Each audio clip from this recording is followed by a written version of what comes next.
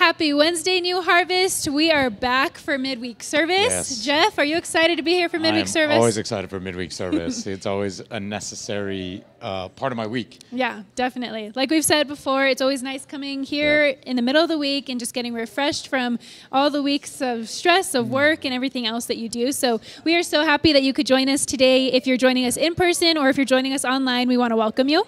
Yeah, we we're just excited that you're here, like she said, whether online or in person. Mm-hmm. So we're just grateful and, and, and happy to be here with you. Yeah, so we just want to mention a couple of cool things that are coming up here at New Harvest. We have our Thrive Leadership Conference coming up on April 26th and 27th. Yeah, we got that uh, coming for you. We got three pastors from all over the state, from different parts of the state, not Yeah. all over the state, from different parts of the state, coming to uh, lead us and teach us Yeah. and and how to use Mm-hmm. the gifts that we have um, and the, the things that were were given by God to Yeah. impact. Yeah, not only so just the church here inside, but outside these four walls. And Yeah. we're going to learn from so many other people because there's workshops, there's so many things. Last year, huge success. Yeah, and this is a free conference. So what gets better than free? Nothing. Nothing. So make sure that you register today. You can register if you're in person, you can register at our connection desk, or if you're joining us online, you can go ahead and register on our website. We'd love to see you here in person. Yeah. Some of the workshops we're going to have is sound, cameras, production, um, children's, youth, men's, women. So so many different options. If you are currently serving in any of those areas, or you're interested in serving, we want you to sign up and just get some feedback and just learn a little bit of what those different ministries are. Yeah, come join us. We, we want to see so many more people out than we had last year. Like we said, it was a big success last year, but we know it can be bigger and better as we Yeah. continue to improve and continue to get more people out. So Yeah. uh, we do invite everybody out to, Yeah. to be a part of this. Yeah. And we want to let you guys know our men's dinner is this Friday at 6 p.m. Jeff has it on his calendar. He's ready. He's bringing a busload of men. A busload of men. I don't know a busload of men. However, um, yeah, I will be here. We're going to be Yeah. watching the movie. Um, I can't remember the name of it. Sound of Freedom. Sound of Freedom. I always want to Yeah. say something completely different, but um, you. I mean, I remember seeing the controversy and everything with that movie, and uh, we have the privilege of watching it here. There's going to be. Yeah. food, um, that movie, and, Yeah. and we're just going to enjoy that time together as men to really Yeah. be built up and and and be the leaders of our homes, of our families, of, of of this area, and it's just a great time to always get together with other men. Yeah, I'm really excited for you guys to be able to watch that movie. Do you think I could wear a mustache and show up anyway? No, not a chance. I might try it. So come on out. Maybe you'll see me. security will know. We'll, we'll let security know. We're not going to Oh, let you. okay. My picture's on the front door. I can't enter. Great. um, so that's going to be a great night, guys. Make sure that you invite all the men in your life. Again, 6 p.m. this Friday, men's dinner. Yes. We also want to let you know that we have a bunch of classes starting next in this month of April. We have um, Foundations in Faith, the Old Testament survey class, Jesus in the End Times is starting again, as well as Financial Peace. Yeah, and these classes are there for you. Um, Yeah. They're free. Yeah. Mm-hmm. And they're there for you to just be equipped, right? That's that's our job here. Is we want to see you equipped. We want to see you go out to your home, to the community, to to just continue to pour out the name of Christ and Yeah. Mm-hmm. be able to do it in a solid biblical manner. So there's so many things, so many options for you to be equipped. So come fill this place. Come on on those days and Yep. and fill these classes up. They are beneficial to your walk and they help you so much. Yeah. And so, like I said, those are all starting throughout this month of April and going into all the way from till June. So it's really cool. Um, you could stop by. Our class days are on Thursdays at 6:30. So you can always stop by on Thursdays at that time. And there's a class going on. So if you want to just see what's happening and see if you're interested in a class, just stop by during that Yeah. time, and you will most likely run into a class happening here at the church. Um, some other cool things we have coming up, of course, is moving forward, VBS, YouthCon. Um, so so many huge conferences that we're preparing for. Um, but we also want to just mention that VBS, that's for pretty much pre K to fifth grade. So we want you to bring your kiddos, sign them up. It's in June, so this is still a ways away, but it's important to plan for this stuff. Um, they have a week filled of fun, um, and I believe the theme this year is the Great Jungle Journey. Yeah, and it's always a good time for those kids. It's always kind of like chaos in here, but a Mm-hmm. good kind of chaos. And those kids get uh, a good, solid teaching and get they get their equipping Yeah. that they need um, to go out back to school, to go out to be, hang out with their friends Mm-hmm. and such. And it's always just a good time. But not only do we want your kids there, but help is needed Yes. as well for many different things. So if you can help, we'd ask that you sign up for that as well. Yeah, um, actually, our children's ministry hallway has a little list of things that they could use some help with. That's crafts, supplies, things like that. So make sure you stop by and see what you can bring to help with VBS. Um, we also want to mention YouthCon. That is for anyone from sixth grade to 12th grade. That's always an awesome time. And this year they're going to Bonita Park. Bonita Park is beautiful. There's so many activities. They're going to be in a cabin, um, Mm-hmm. Yeah. and there's just this time away. Yeah. And I think that's what's a, a great thing about it is they get to unplug and get to really delve into the Word Yeah. at their level as well. And Yeah. there's so many activities for them, uh, Yeah. and it's just going to be a great time. Yeah, I think it's important for them, especially at their age, to be able to disconnect from their phones, disconnect from reality, and just be able to really focus on Jesus and focus on their relationship with Him. So definitely sign up for that. Get some more information on our website or on Church Center. Um, but yeah, yeah, YouthCon, it's a great time. I had more of a blast, I think, last year than a lot of the kids did, just Definitely. messing around. So, uh, Yeah. again, with that as well, we, I'm sure there's help that needs to be had with that as well. yeah. I think me and Jeff end up having way more fun than some of the youth for any of these, but you know, it always ends up fun. And it's always great memories to make for them at their age, just to be able to get with friends that are like minded and just to be able to be themselves. Yeah. So Yeah, we really encourage you guys to check out those events, VBS, YouthCon. Um, always stay updated with our social media Yes. accounts, our website, and you can always get our latest events and information there. Yeah, and and be interactive on those as well. We want to hear from you. We want to commune with you. We want to pray for you. Yeah. So if, if that's what we can do, please uh, reach out to us so we can do that for you as well. Yeah. Well, thank you guys so much for joining. Yes. As we always say, if you're watching us online, we care about what you're going through. We care about what's happening. So make sure that you go ahead and put your prayer requests in the um, chat box or DM us as well if it's a little more personal. And we have a team that's dedicated and ready to help you. But we're going to go ahead and get ready with our live stream. So stick around and we're going to be hearing a message from Yes. Pastor Dave. Yep.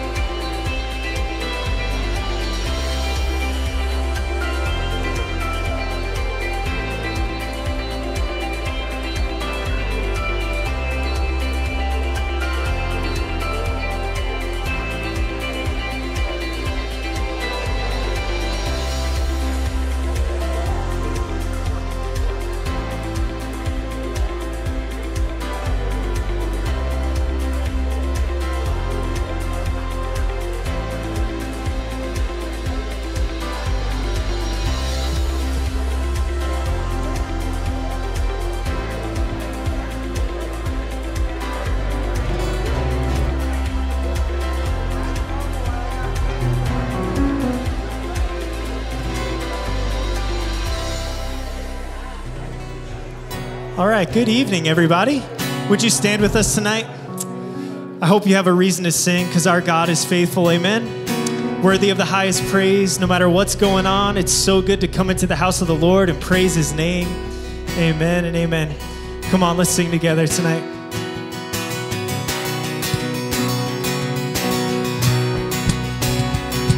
You pull me from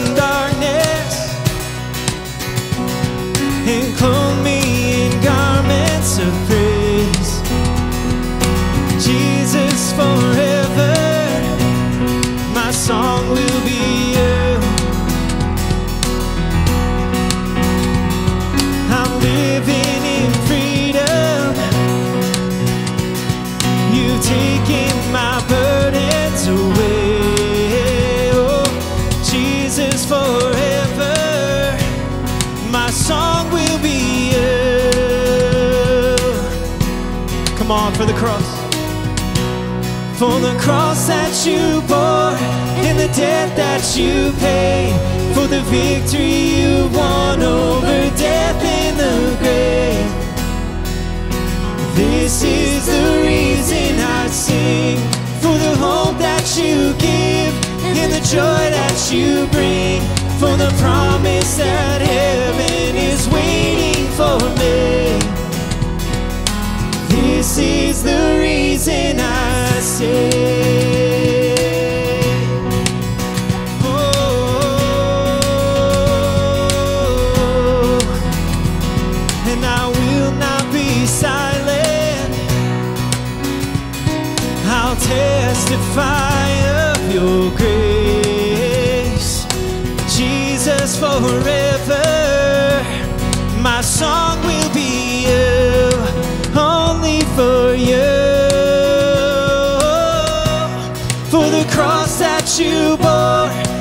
Debt that you paid. For the victory you've won over death and the grave. This is the reason I sing for the hope that you give and the joy that you bring. For the promise that heaven is waiting for me. This is the reason I say. You're so good. You're so good. You're so good to me. Forever I'll sing. You're so good to me. Oh, you're good. You're so good. You're so good. You're so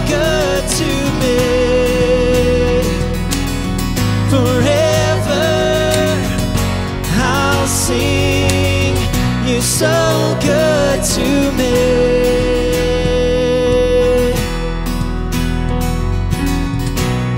For the cross that you bore and the debt that you paid.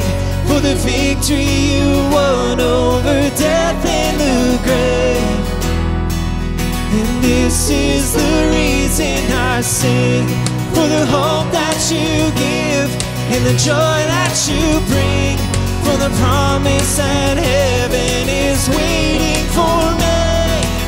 Oh, this is the reason I sing for the cross that you bore and the debt that you paid.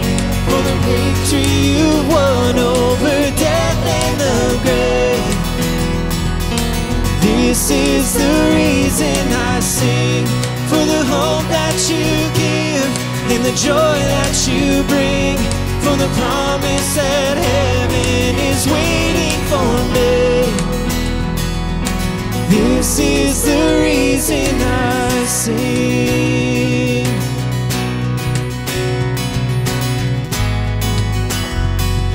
And this is the reason I sing.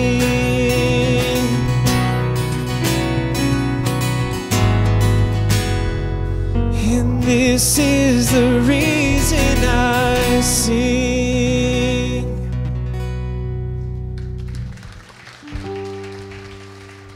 How many know that God is faithful, amen?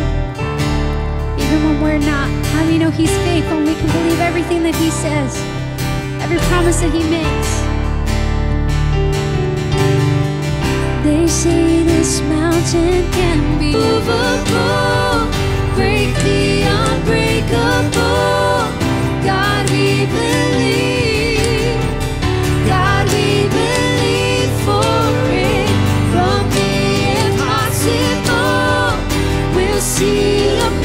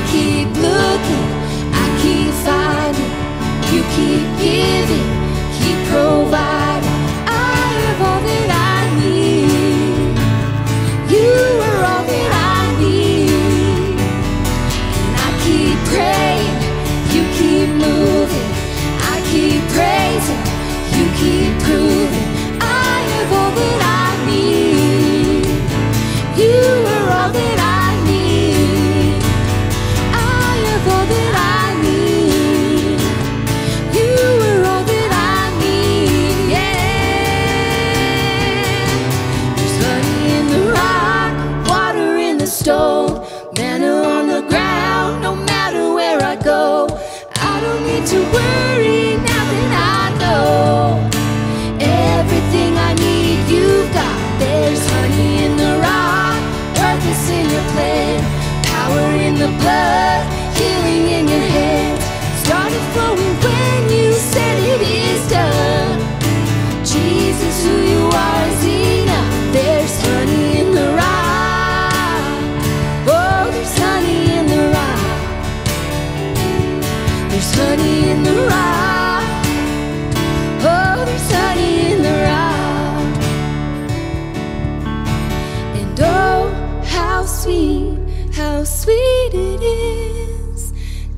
trust in you, Jesus. Oh, how sweet, how sweet it is to trust in you, Jesus. Oh, how sweet, how sweet it is to trust in you, Jesus.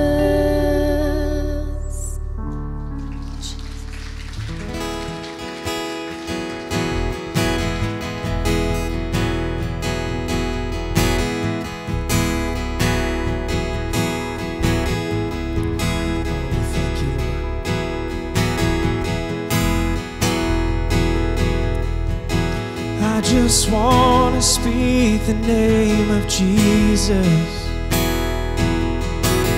over every heart and every mind.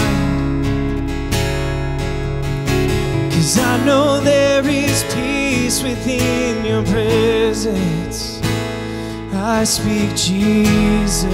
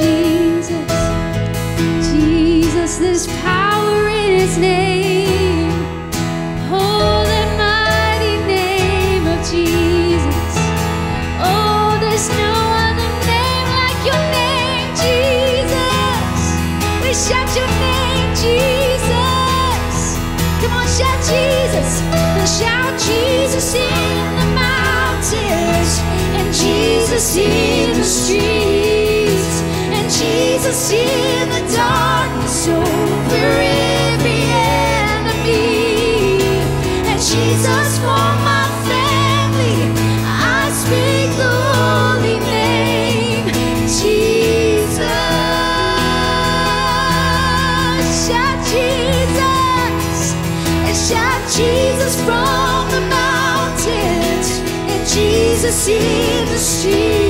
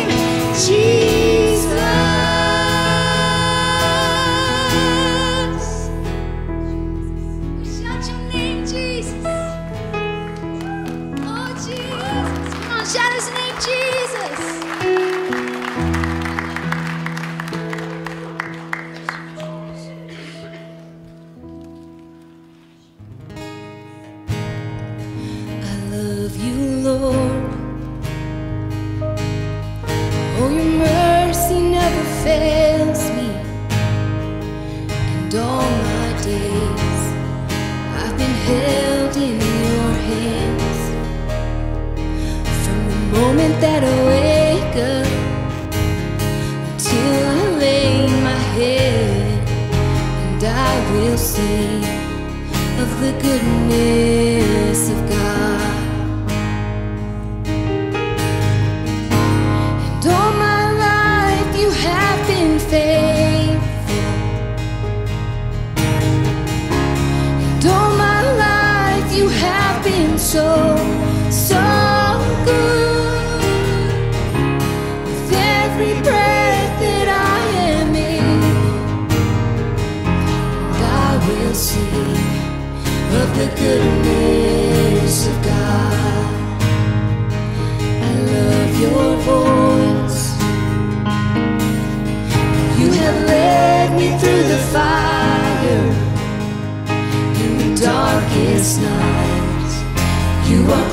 ghost like no other. I've known you as a father.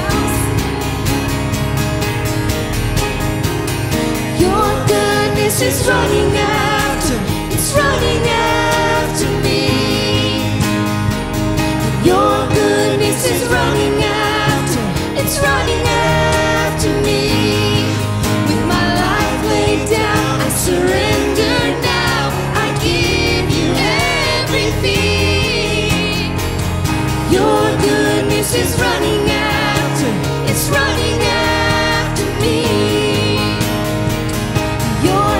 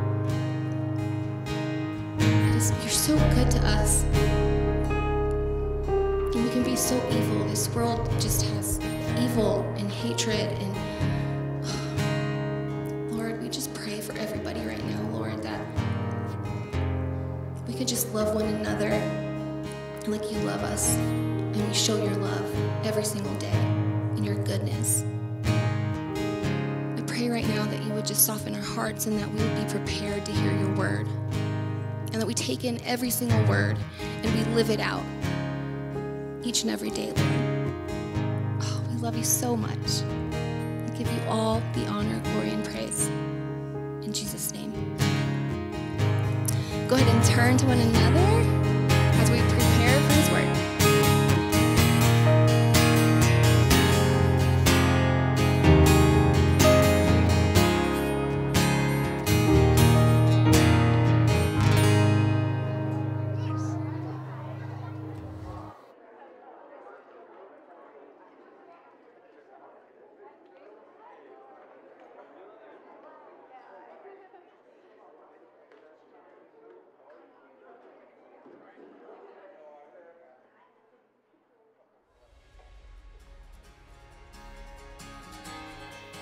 Welcome to Calvary Chapel, New Harvest. Whether you're here with us in person or joining us online, we extend a warm welcome to each and every one of you.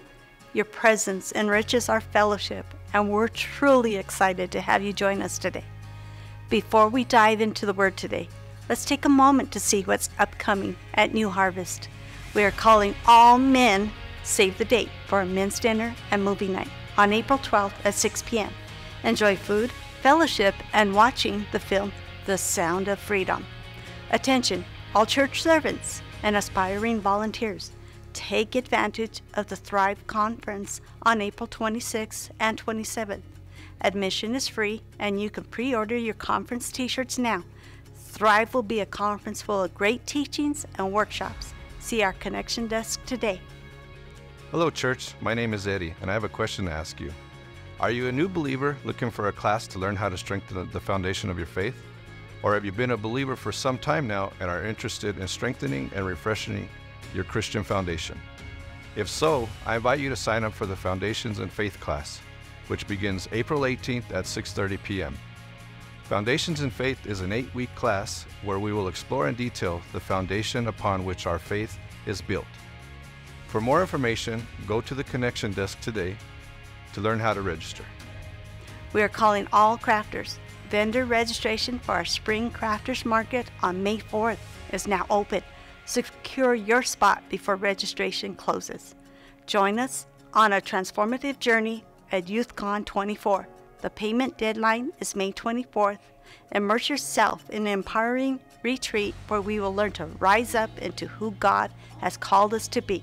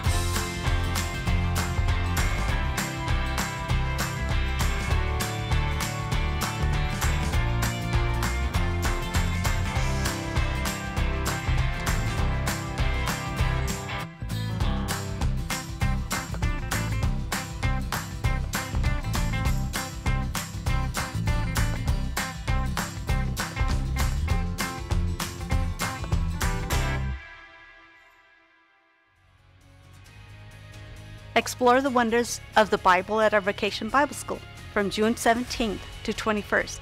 Let your children embark on an epic adventure from Genesis to Revelation, discovering biblical truths amidst fun and excitement. Parents of children, we want you to take your little ones to the New Harvest Kids Ministry, where they can learn the Bible at their level. Thank you for joining us today. If you're interested in any of the events mentioned or want to download our church application, please visit our connection desk. Our team is here to assist you and answer any questions you may have. Agape boxes are available for tithes and prayer requests. You can also give online or send in your prayer requests electronically. Now, let's silence our phones and prepare our hearts for the Word of God.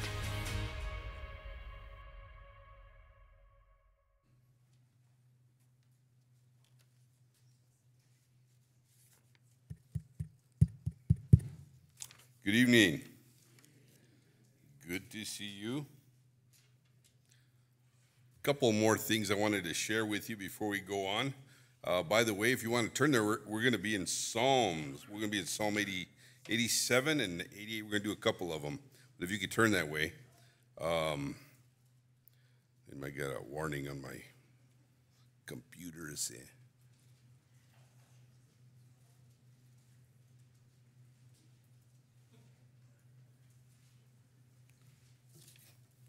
It worked. It didn't all explode, man. Uh, a couple of classes I wanted to share with you. If you, need, if you need Bibles, raise your hand. They'll bring you a Bible. But I also wanted to share a couple more things. Not only is the Foundation and Faith class coming up, I, I, I think it's a good class if you haven't taken it or, or if you need to be brush up on it. But there's also on April 25th, Old Testament Survey, Financial Peace University, and Jesus and the End Times.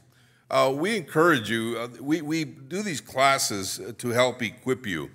You know, we, we want to make sure that we have uh, different classes going all the time, different ways for you to, to, um, to just be equipped in every aspect of, of, of your Christian walk. And so we encourage you to sign up for these classes. You know what? You, you learn a lot with them, and, and uh, uh, you, you, I know you'll be blessed for sure. And so uh, the first one, like I said, April 18th, the Foundations in Faith. If you can, sign up, go to that one. Also, the men's dinner is this Friday. April 12th, if you men haven't signed up. Uh, it's at 6 p.m. Love to have you on that evening. Uh, it's uh, it'd be a great night to be there. And also remember the Strive conference is coming up, uh, April 26th and 27th. Uh, that uh, that again, we we put that for you just so that you will. Be better equipped in the things that we do. And so, if you want to sign up, we would appreciate it because it gives us a head count because we're going to be having uh, dinner for you guys on Friday, and then we're going to be having uh, dinner again on or uh, breakfast on uh, the next morning. Uh, so we we uh, would ask you if you could register so we can get the head count for that, and we'd love to have you there. Um, tonight, as we get going, we're going to do a couple of psalms. So remember, we're going to be, be doing Psalm 87, and we're going to do Psalm 88, a couple of them. So let's pray. Let's open in prayer. Father, we do come before you. Lord, we, we do thank you for uh, just for the grace that you've had, you have for each and every one of us. Lord, we thank you for the cross. Lord, we thank you, uh, Lord, that even tonight we can assemble in freedom and we can look to your word and we can study your word and we can learn to know you more. Father, that's our heart here at the church, Lord. And so, Father, I lift up all these that have come uh, knowing that uh, many times we have hard days, hard weeks. And um, this way, I, I pray that we can leave all these things at your throne, Lord, just to hear from you, to see what you say to us, Lord. So we, we lift up this time to you. Continue to meet us here. In Jesus' name. Everyone said, Amen. So we've made our way to Psalm 87. We're going to try 88 as well, because this first one here you're going to see is only seven verses long. Um, we go back to the sons of Korah once again on this uh, first one. This psalm is simply called or titled A Psalm of the Sons of Korah, a Song. Now remember, these sons were the Levites from the family of Kohath. Uh, they were somehow involved in the music ministry, uh, somehow in the aspect of, of temple worship. And so we know that they also somehow worked at the temple, even, even maintaining the grounds in some way. Uh, let's begin in verse 1 on, on uh, Psalm 87. His foundation is in the holy mountains. The Lord loves the gates of Zion more than all the dwellings of Jacob. So we, the psalmist begins by speaking of the love that God has for Jerusalem. God is the creator of all, yet Jerusalem is special to the Lord. This Jerusalem is also a foreshadowing of the coming new Jerusalem uh, in the end of, of time. So his foundation is in his holy mountains, in the mountains of Judea. Uh, he writes here that the Lord loves the gates of Zion more than the dwellings of Jacob. Now, the city of Jerusalem uh, was God's preference for the Ark of the Covenant. Uh, this is where it was placed to rest. Now, he preferred it over Shiloh, if you know the history, where the ark once rested. He preferred it. He loves the gates more than all dwellings of Jacob, he writes. Uh, you know, it's a blessing to have a city or a country that's blessed by God, to know that he has his hand upon it, protecting it. If God goes before a city, then who could oppose it? If God goes before a country, then who could oppose it? This is why it's a tragedy when we see that happening in reverse, especially in this country, as we watch our, uh, even today our administration oppose Israel. Uh, Genesis chapter 12 uh, tells us and warns us in, in, verse 1 it says, Now the Lord had said to Abraham, Get out of your country, uh, from your family, and from your father's house to a land that I shall show you. And I will make you a great nation, and I will bless you, and I will make your name great. And you shall be a blessing. I will bless those who bless you, and I will curse him who curses you. And in you all the families of the earth shall be blessed. So when our, our country's leaders go against Israel, know that destruction is coming. It, it's not a matter of if, but when. So we, we have been warned of God that uh, we should never go against his city, his people, his place. And, so it's not a, a suggestion, but a command in Scripture because they are indeed his people. A city or a country then owes its stability and its blessing to God. And, and in that blessing, or if that blessing is removed, uh, a, a, country or a city can be destroyed. History shows that. Uh, God's word, word proclaims that.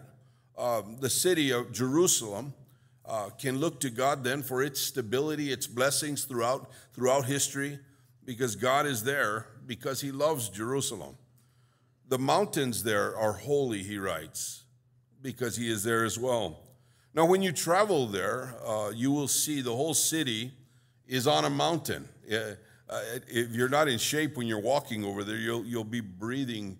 Uh, you'll be breathing hard, that's for sure, because the there, when you're in the city, it's it's all mountain, it's up and down. Uh, the, the, center of all God's work is there. It, it happened all right there in Jerusalem. That's where the redemption of man took place.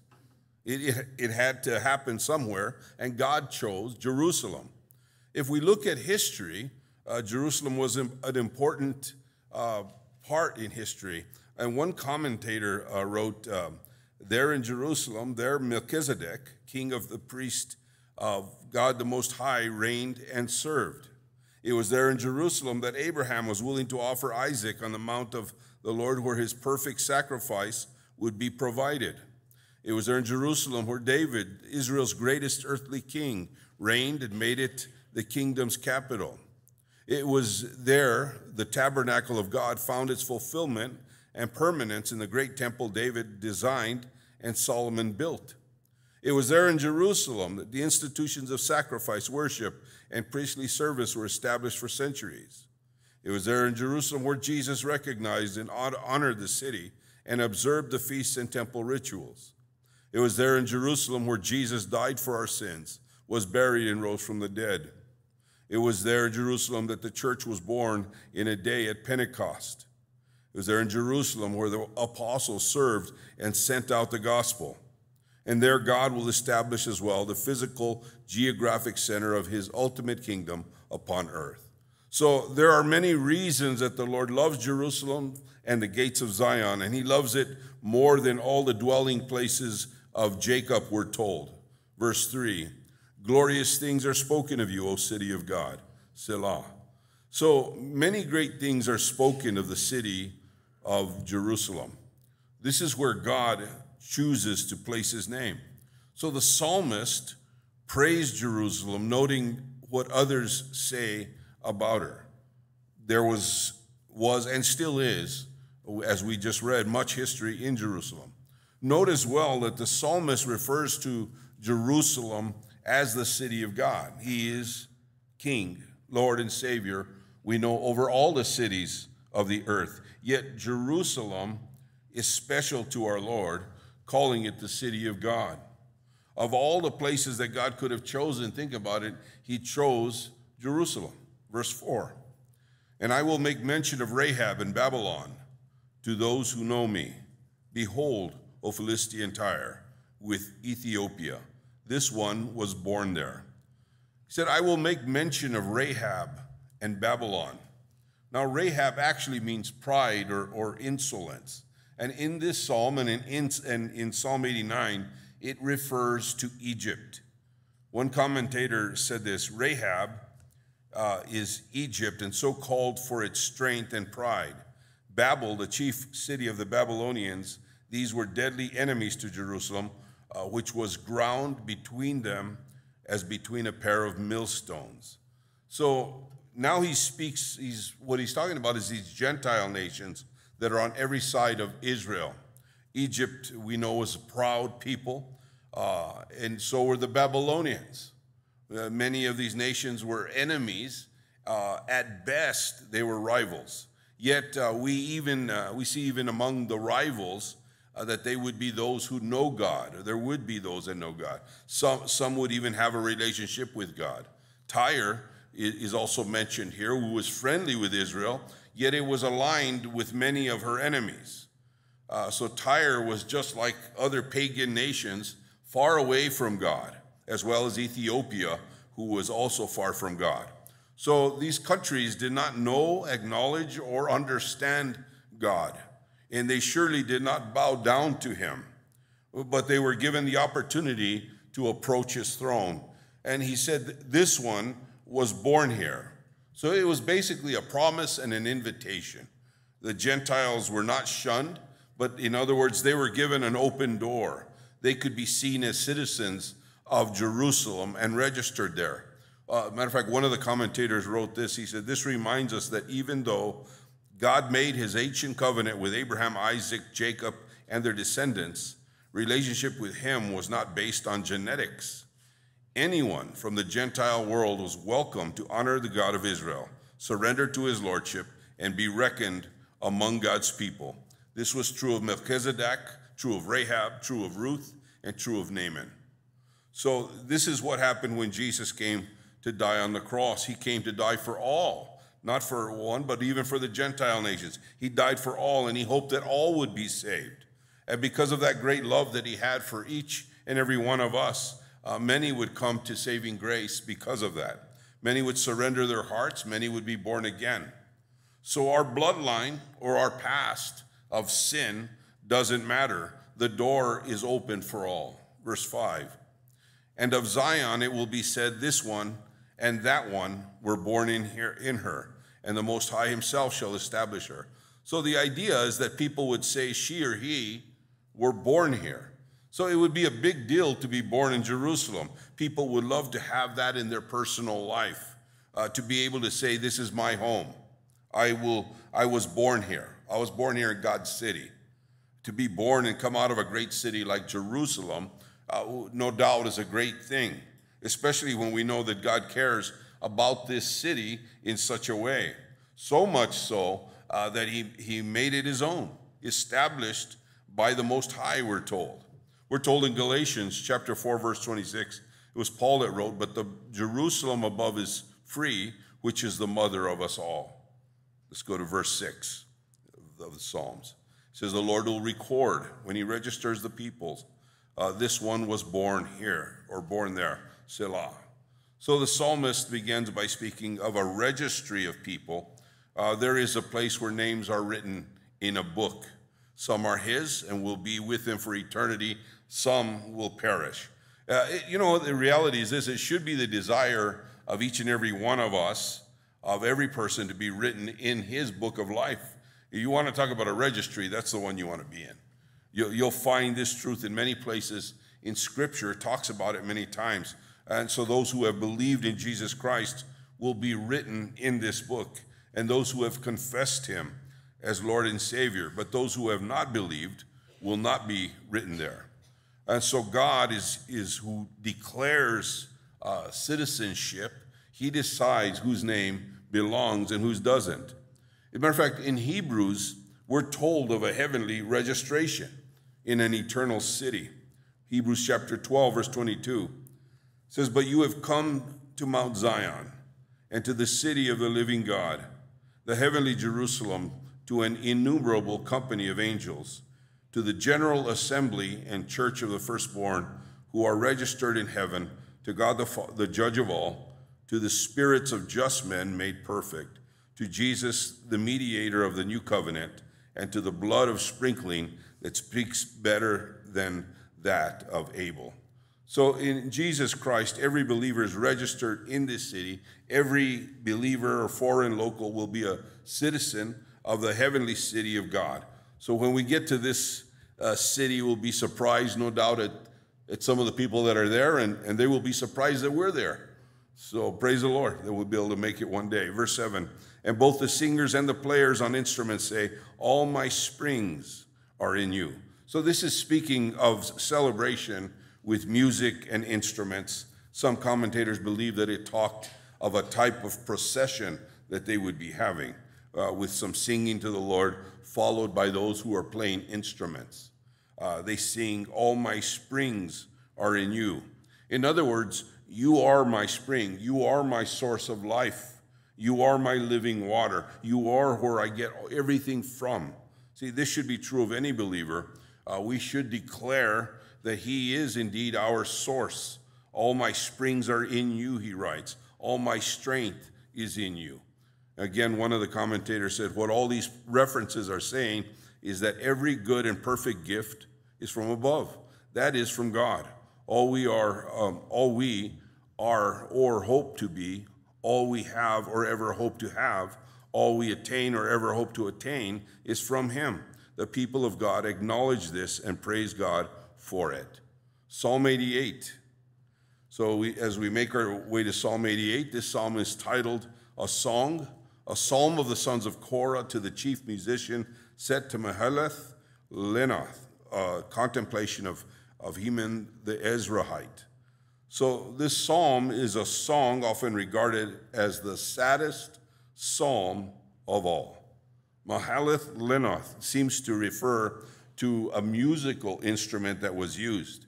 And Psalm uh, 88 is one of the 13 psalms called contemplation or instruction. The author or the singer of, of the psalm, Heman the Ezrahite. Now, there are many mentions of Heman in the days of David and Solomon. Now, if they all refer to the same man, he was noted for his great wisdom. You can find that in 1 Kings. For his being a Kohathite among the sons of Korah. You can find that in 1 Chronicles.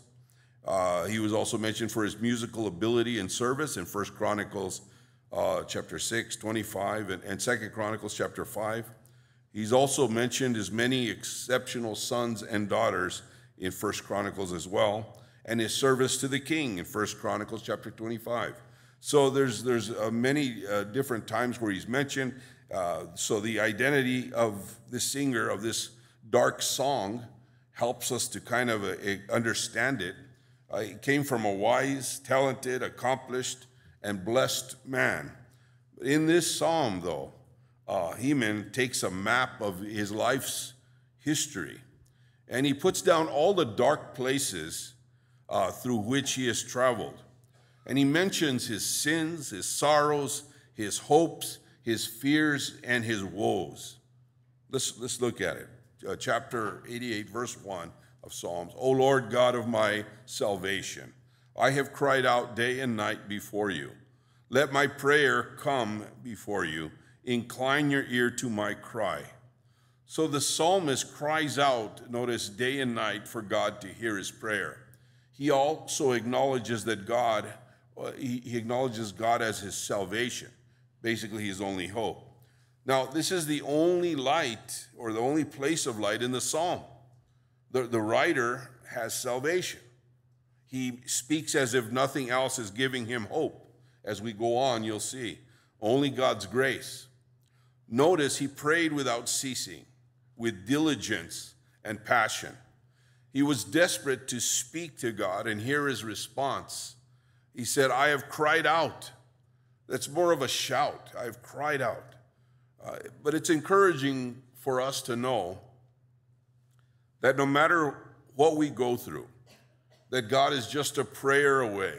He'll never leave us, He'll never forsake us. We can go to our knees daily and cry out to Him, no matter what's going on in our life. And we can bring all our troubles to Him no matter what they are. And as we read along, we will see this psalmist was struggling. Verse 3 For my soul is full of troubles, and my life draws near to the grave. I am counted with those who go down to the pit. I am like a man who has no strength, adrift among the dead, like the slain who lie in the grave, whom you remember no more and who are cut off from your hand. Have you ever um, have you ever watched the Hee Haw show? The older people, older guys here probably haven't, and, and they they they used to have a song there in in Hee Haw, and that's where I got my title, believe it or not. The the lyrics were gloom, despair, and agony, deep dark depression, excessive misery. If it weren't for bad luck, I'd have no luck at all. And it went on and on. This kind of reminds me of that same song, that same issue, troubles and turmoil, because the psalmist as we go through this, just writes of his soul in, is full of sorrows. And, and the pain that he was dealing with was going deep, so bad that he was drawn towards the grave, counted with those that were at the pit. Uh, so many link this psalm with the suffering of Jesus in Psalm 22. Uh, his hands, his heart were full of sorrow. He was, he was like the dead, he said. So the psalmist, we see, dreaded death, fearing that it was the end of everything, not only on this earth, but in his relationship with God. And so he writes, You will remember me no more. He felt that it was all over. But, but this psalm was written before the resurrection. So he's sharing his heart at this time. Remember, he's, he's back before Christ.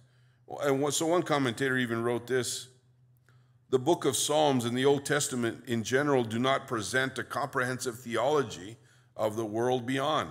The book of Psalms expresses the agony, fear, and uncertainty of death's doorstep. The singers in the Psalms often know uh, they can remember God and give Him thanks now, but don't have the same certainty about the world beyond. You see, remember, they were looking to the cross. You know, I was looking at some of the last words of, of some great godly men. It was Martin Luther that said, Our God is the God from whom cometh salvation. God is the Lord by whom we escape death. John Calvin wrote, Thou Lord bruisest me, but I am abundantly satisfied, since, since it is thy hand. John Wesley said, The best of all is God is with us. Farewell, farewell. And Charles Wesley said, I shall be satisfied with thy likeness. Satisfied, satisfied. It's amazing to see when, when you see a person who's at, at the end of their life and they're, they're dying, but they love the Lord, they're saved, and, and they, they're filled with the Spirit of God. I mean, it, has been amazing to me to go to some of these uh, bedsides where someone's dying to pray for them and, and, and have them instead pray for me and, and praise the Lord while I'm standing there weeping for them. Uh, I've had that before, and it just shows me the heart of the person that's dying is ready to go. They're crying out to God. They know where their next breath's going to take place, they know everything that's coming. And so Paul tells us in 2 Timothy Jesus brought life and immortality to light. Through the gospel, then we can rest in the hope of our Savior. In Jesus' life and death, we see then the completed plan for his salvation. Look at verse 6. You have laid me in the lowest pit, in darkness, in the depths. Your wrath lies heavy on me, and you have afflicted me with all your waves. Selah. So the psalmist feels like God himself placed his wrath on him. He writes, You have afflicted me with all your waves. You've pounded on me like the waves on a seacoast. So he feels like he has been laid at the lowest, darkest, deepest pit that you can find. This is a hard place to be. When your world turns upside down, this, this can become very heavy, and we can see that it's heavy upon this psalmist, drawing out his pain, sensing that he himself had sinned against God. And he, he hadn't complained that it was unfair. Notice he's not complaining about that, just that it was happening. Remember David, he found himself in a dark pit many times as well. And, and I, I always get drawn to Psalm 40, verse 1. He said, I waited patiently for the Lord, and he inclined to me, and he heard my cry, and he also brought me out of a horrible pit, out of the miry clay, and he set my feet upon a rock and he established my steps. He has put a new song in my mouth. Praise to our God. Many will see it in fear and will trust in the Lord. David knew where his hope and his strength came from. David always went to, to, to cry out to God. See, God is good and he is still on the throne today. No matter how deep the pit that you may be in tonight, he is still on the throne and he can still lift you up. And then again, he ends this verse with Selah, or take a pause. That's what it means. It means to meditate or, or, or take a rest and think about what was said. Verse 8. He says, You have put away my acquaintances far from me. You have made me an ab- abomination to them. I am shut up and I cannot get out. My eye wastes away because of affliction. Lord, I have called daily upon you. I have stretched out my hands to you. So the feeling of isolation for a certain issue or stand, it, it can surely be challenging. The psalmist feels like he had been abandoned. He saw it as God's doing, though, right? As he feels, he feels like his friends have abandoned him. He said, You put away my acquaintances far from me. They wanted nothing to do with him. You know, it reminds me of Job. Uh, remember when he went through the wringer, his friends didn't get it. They thought that it had to be something that Job had done. And, and they ended up blaming him. And remember, he called them miserable comforters. It's like an oxymoron, but that's what he called them. See, we never want to be fair weather friends like that, only there at good times. When Jesus suffered on earth, if you remember, his disciples scattered, they abandoned him. See, it's hard to find friends that'll stick with you through the thick and thin. Sadly, our life will be filled with people coming and going. And, and we just have to, the only thing we can do is, is look at our own life, and we don't ever want to be that way, right? The psalmist was totally discouraged about the loss of his friends, at, uh, at the loss of his acquaintances. He said, I am an abomination to my friends, like a leper, like a disease. This is how he felt. And, and worst of all, he was saying, I'm stuck here. I can't get out. In other words, there was no escape, is what he was saying. He, he felt like it was hopeless. And so he cried out, saying, I pray daily. I stretch out my hands daily to you, God. See, we can relate to feeling uh, uh, like our answer hasn't come, and, or maybe it's not quick enough, right? And so this is where he's at. Verse 10. And he asks, Will you work wonders for the dead? Shall the dead arise and praise you? Selah. Shall your loving kindness be declared in the grave, or your faithfulness in the place of destruction? Shall your wonders be known in the dark, and your righteousness in the land of forgetfulness? So the, the psalmist was speaking of death. This is what he's talking about. What then? Basically, what then? What, what can we do when this life is over? When there is darkness? What can we do then? When all there is is darkness? Will you work wonders for the dead? Well, he was uncertain of the future. So he cries out to God for answers now while he lives. Because in the grave, he said, Can there be loving kindness? Can there be faithfulness there in the grave? You know, I, in, 19, in 1846, I found this illustration. It was a former President John Quincy Adams that suffered a stroke. Although he returned to Congress the following year, his, his health was clearly failing. And, and Daniel Webster described his last meeting with Adams. He said, Someone, a friend of his, came in and made particular inquiry, inquiry of his health. And Adams answered, I inhabit a weak, frail, decayed tenement, battered by the winds and broken in upon by the storms. And from all I can learn, the landlord does not intend to repair. You see, what John Quincy was saying was that these bodies that we have wear out. They wear out. And every day they get older. And at this time, there is no plan for an overhaul. Death is coming, and there is no way around it. The percentage of people that die, 100%. Those are pretty good odds. The question is will you be in smoking section or non smoking? Without understanding our future with our Savior, we can feel the same way that the psalmist did, looking to the future with uncertainty, without promise. We know death, the grave, and darkness awaits. There's no way around it. The psalmist didn't have the perspective that we have with Jesus. His cry to the Lord was that in the grave, everything stops. This was his heart. This is what he's feeling. This is what he's crying out. In the grave, it all stops. Look at verse 13. But to you I have cried out, O Lord, and in the morning my prayer comes before you. So the psalmist cries out since early in the morning. He said, In the morning I pray, Lord. I start my day with prayer, Lord. That's such a good way to start our day with prayer. And in prayer, we focus on the Lord and we prepare our heart for the Lord and we prepare our, our heart for the day. It's good to set a time for prayer, if, not in the morning, some other time. But this was the cry of this psalmist Lord, I cry, I pray out to you every morning.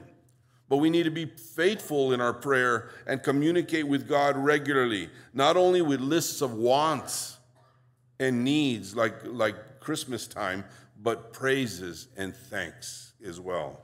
Verse 14, he said, Lord, why do you cast off my soul? Why do you hide your face from me?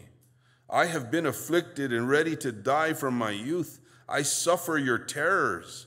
I am distraught.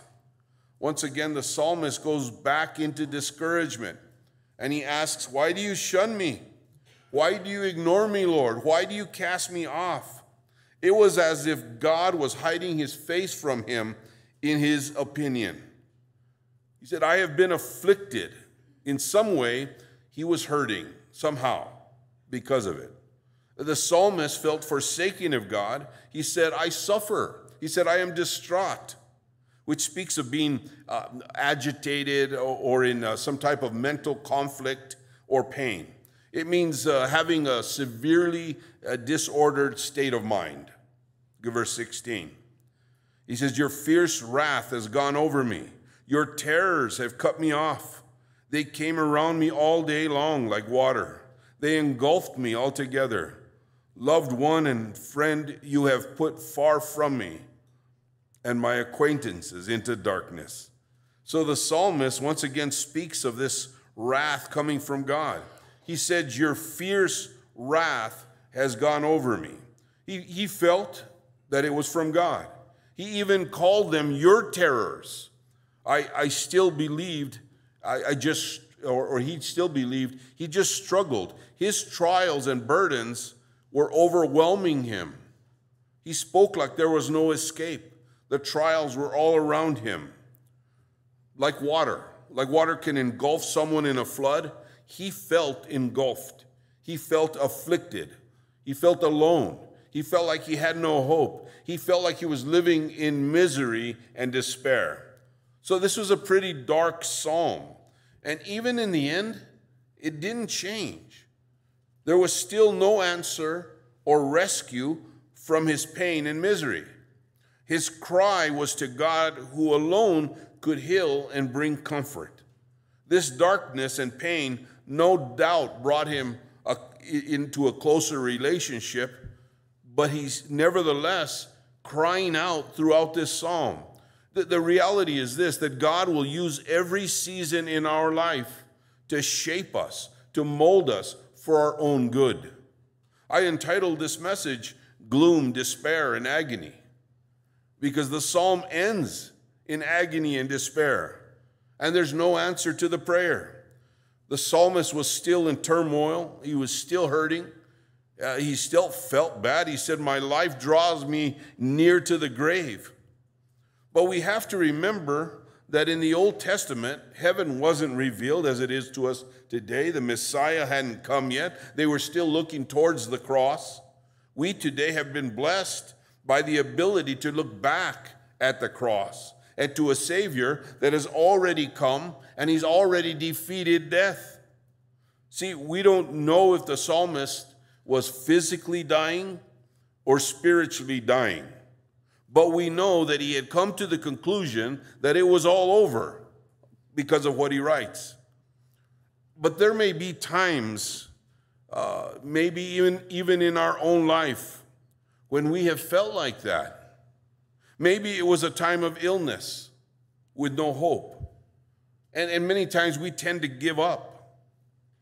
But we have to remember that God is in control in all things. Even in the womb, our days were fashioned before there were none. If it was a spiritual battle that you're dealing with, even here tonight, we, we know that Christian tonight that Jesus on the cross paid for our sins. We know that in his victory, the sting of death has been removed. Paul asked, O grave, where is your victory? Death, where is your sting? See, we know that as Christians, death is not going to overtake us and take us down into the jaws of death and darkness, as he writes. Paul writes, For me to live is Christ, and to die is gain. He said, I have a desire to depart and to be with Christ, but I know that you still need me here for a while. See, Paul knew the desire of the Christian is to be with the Lord. But as long as we are living in these bodies, well, we must remain until the Lord says to come home. One day the Lord will call us home, individually or as a whole, as a church. So, as Christians, we have a whole, or we should have a whole different attitude and understanding because we know that death is not the end. If you have surrendered your life to Jesus Christ, if you have been born again, then death is just a transition into heaven. 1 Peter chapter 1 verse 3 says, "Blessed be the God and the Father of our Lord Jesus Christ, who according to his abundant mercy has begotten us again to a living hope through the resurrection of Jesus Christ from the dead, to an inheritance incorruptible, and undefiled, and that does not fade away, reserved in heaven for you, who are kept by the power of God through faith by salvation, ready to be revealed in the last time." The bottom line was that the psalmist was in a bad place spiritually.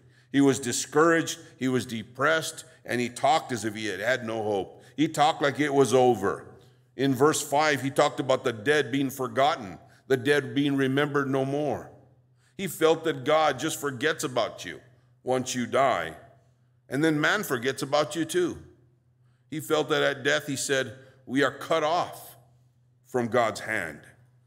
It's like he never existed. This is how he felt. Like he left no fingerprint in his life for anyone to ever know that he was even on this earth. But we know that's not true. We know that God loves us. God desires fellowship with each and every one of us.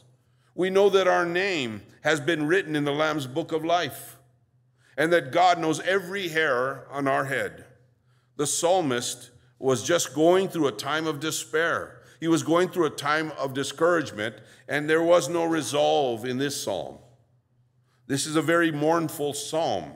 It would be kind of a bummer to, to read if, if we didn't know the rest of the story, because we know that our God lives, and we know that the tomb is empty, and that Jesus defeated the grave, and that death couldn't hold him. And because he lives, we will live as well, and that we place all our trust in him.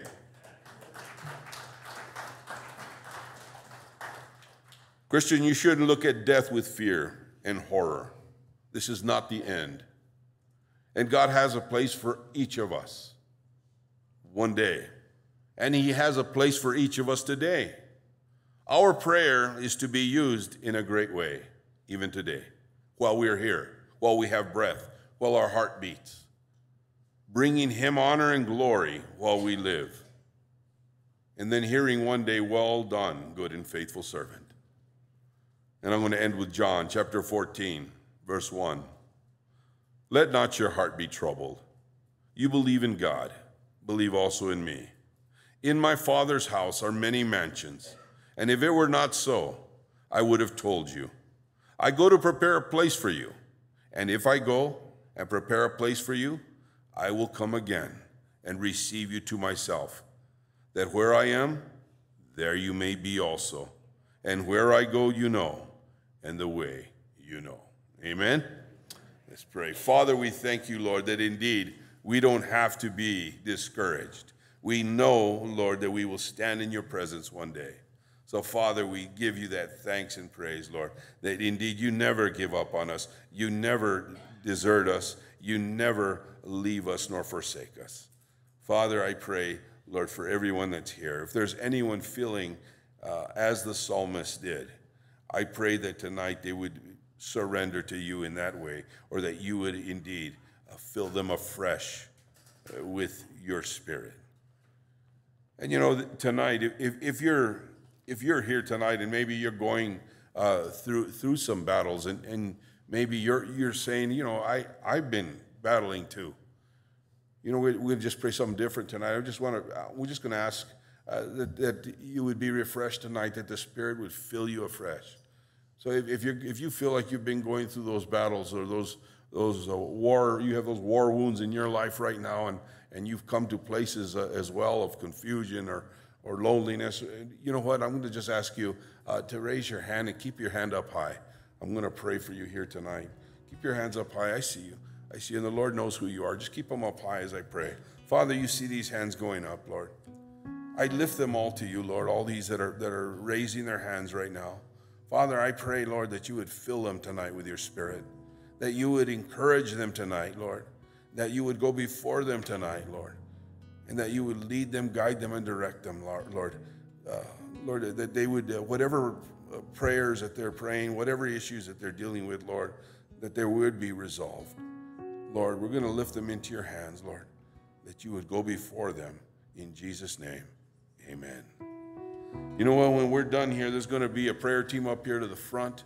I encourage you, if you need prayer for any reason, to make your way up here and they'll pray for you. If I could have everybody stand. Numbers chapter 6, verse 24 says, May the Lord bless you and keep you. May the Lord make his face shine upon you and be gracious to you.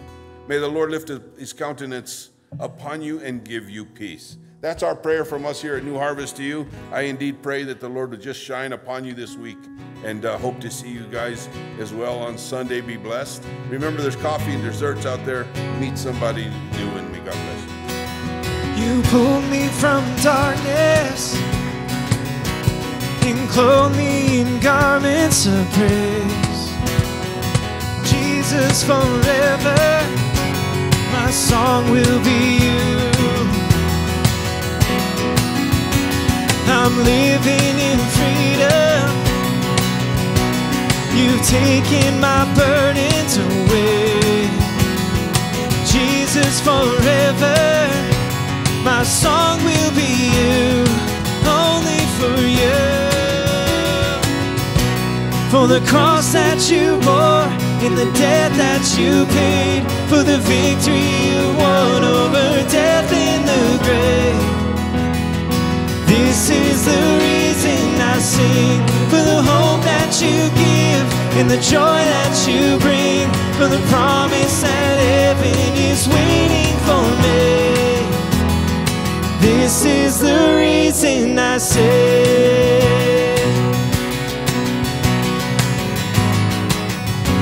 Come on, he's so good.